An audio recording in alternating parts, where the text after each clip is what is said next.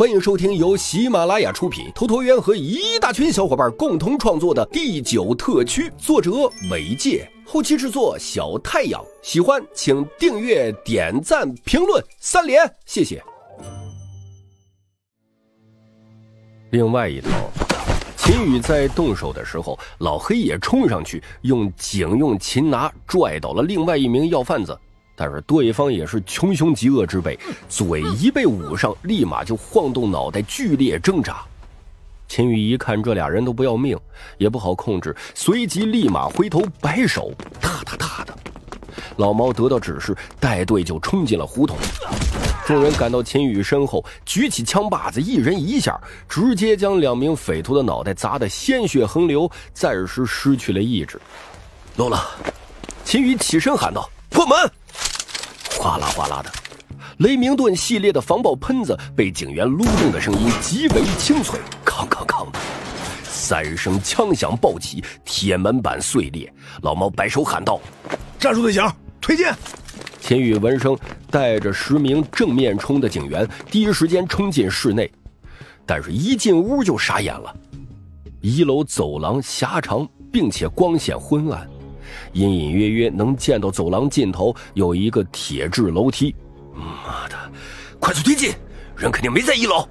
秦宇只简单的扫了一下地形，就用最快的速度做出了指挥。两侧警员闻声后，毫不犹豫的向前推进。三秒后，通往二楼的铁质楼梯上方有俩人端起自动步，连招呼都不打，就疯狂的向下射击。别撤，压一下。二组。有射击条件吗？可以射击。楼梯拐角，两个自动步。康康枪响。警司手里的狙击手很少，所以这次行动并没有纯狙作为支援。可经验丰富的外勤警员在近距离使用自动步的准头还是有保证的。外部楼梯埋伏的那一组在得到命令后，透过玻璃两枪就将卡在二楼口的匪徒给击毙。尸体顺着楼梯滚下来，秦宇才摆手喊道：“进！”呼啦啦的，秦宇带着突击队迅速通过楼梯冲上了二楼。客厅内光线极暗，只有外面的月亮能隐约照射出屋内的轮廓。秦宇额头冒汗的往前走了三四步，低声问道：“怎么没人？二楼看见有人跳楼了吗？”秦宇眉头一愣，当啷一声，就在这时，秦宇左侧传来一阵轻微的响动。秦宇刚冲上来的老猫很紧张的喊道：“我中奖了，踩线了。”秦宇闻声回头时，老猫队里的一个警员已经蹲在地上，准备用手试探的去摸雷线。呃，别别别别动别动，不是线的事儿。我踩雷上了！众人闻声短暂一怔，随即立马后退，守住了客厅口，因为他们怕屋里还有人在藏着。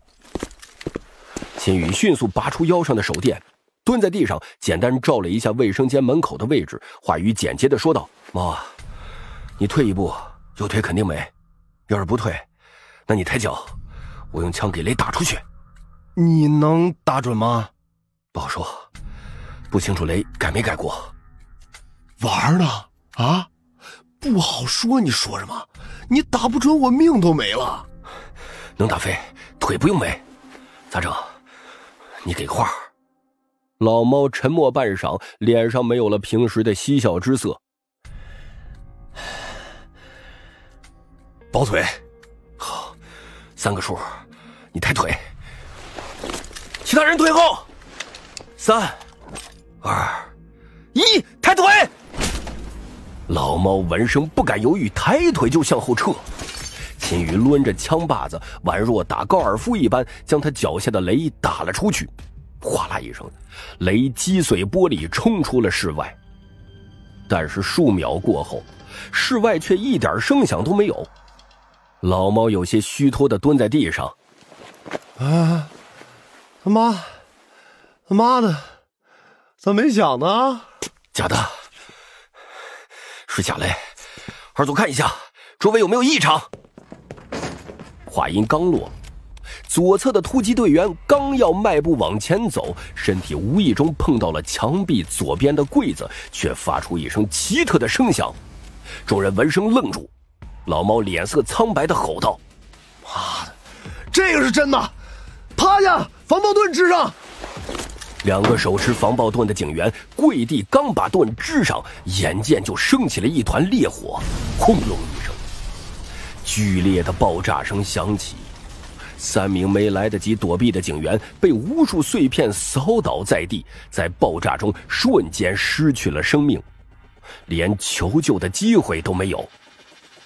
千羽趴在室内地板上，耳朵嗡嗡直响的吼道：“屋内肯定没人了，他们跑室外了。二组，二组，注意观察。”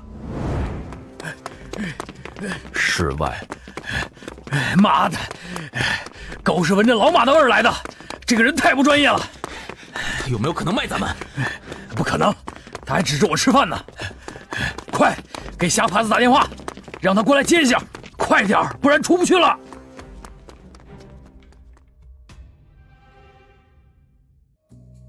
本集已经播讲完毕，更多精彩内容，请在喜马拉雅搜索“头陀渊讲故事”。谢谢。